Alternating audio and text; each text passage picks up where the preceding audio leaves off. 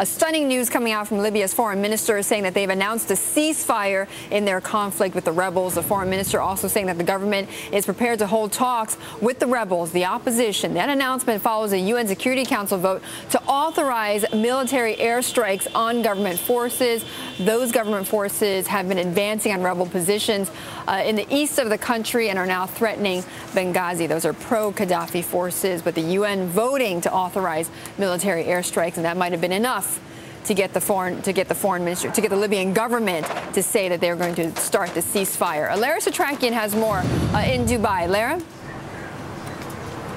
Betty, oil prices falling, U.S. futures rising on the news, and this is a potential game changer for those companies doing business with Libya and anyone looking at oil. Why? Well, of course, the prospect that this could stave off a military confrontation between international powers and Libya, but it also buys Gaddafi time, and that means that he could potentially negotiate with the opposition, or he could use that time to further his position, gain more ground, make it harder for any future intervention from the international community to be effective.